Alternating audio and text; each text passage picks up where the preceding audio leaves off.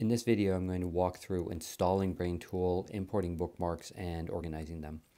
You can see here I'm on the web store. I'm going to click Add to Brave. Uh, the process will work the same with Edge or the Chrome browser. I'm asked for the absolute minimal permissions and then BrainTool installs.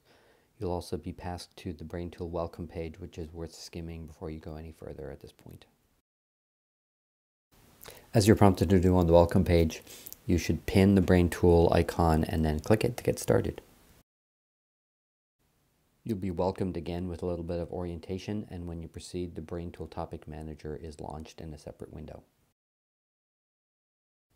We want to keep the focus on your data so the options, actions, and info panel is folded away after you've been given a little teaser so that you know that it's there tucked away in the top left. Third, welcome, welcome, welcome, welcome. And now I've given you a set of action items to, uh, to do to get started. Your BrainTool data is organized as a set of nested topics.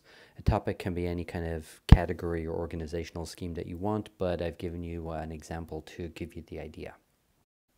This is just one way you might want to save the kinds of things that you bookmark. Uh, categories of projects, um, other areas of your life, non-project areas, things you need to keep track of, uh, read later list, stuff that you just want to get off your screen and get back to later, and then uh, more general resources of, of, of, any kind. Okay, congratulations, we've done our first task. Uh, so I can go mark it as done. If I click the to do again, it'll uh, take away the to do or done indication altogether, or in this case, probably what I want to do is just delete the item. Moving on, now that we've got the lay of the land, we'll go import our bookmarks.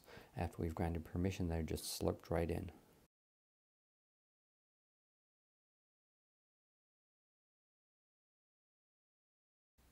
You can see that like most people I've got a bit of a semi-organized mess here, but don't worry, we'll deal with it. So there's a lot of different ways you can go about this. The simplest is probably just to click through on the link, have a look at the page, see what it is, and uh, in the bookmarker you can update its title and note, and then drop back to the topic manager to move it into its appropriate topic.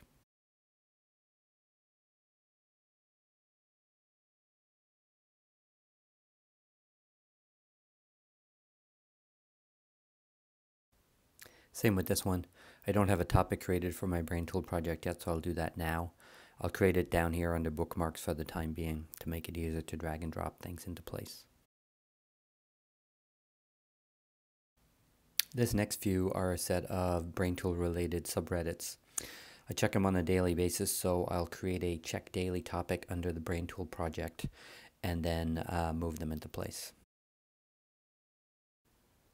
may be hard to tell in the video, but in this case I'm using the keyboard commands to select each item and then use Option or Alt up arrow to move it into place.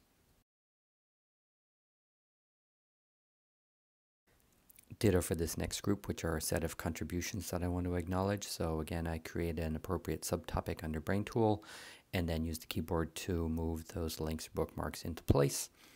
And finally grab this last uh, Reddit subreddit that I missed last time around. I'll do a little cleanup, getting rid of stuff I no longer care about, and also move this whole uh, bookmark subfolder into place. At this point, I've made some good progress organizing my BrainTool related links, so I'll move it up here under the top level project topic and get rid of these old example ones that I don't need anymore. I'll do a little bit more filing of some bookmark folders I want to save under resources. Okay. We've made some good progress, but I think I'm going to call it a day for now, so I'll leave a note to myself and mark the bookmarks item here as a to-do. Now I can get rid of all these welcome items I no longer need and start using BrainTool for real. Uh, check out some of the other videos and blog posts and let me know how it's going.